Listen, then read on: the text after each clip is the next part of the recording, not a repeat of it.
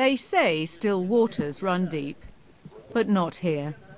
After two months of virtually no rain in Malaysia, this reservoir just north of the capital is barely half full. There's only enough water in it for another two and a half months.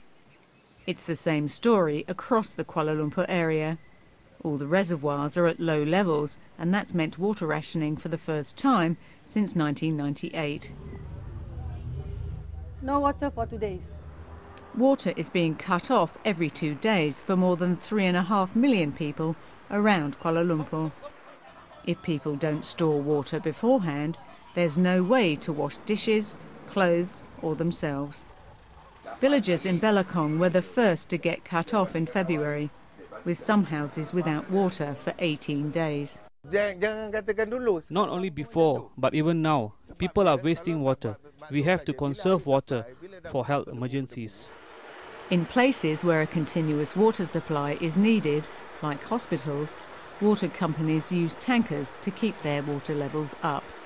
Malaysians are the heaviest users of water in Southeast Asia, at around 214 litres a day, compared to Thailand at 90 litres per person per day and Singapore at 160 litres.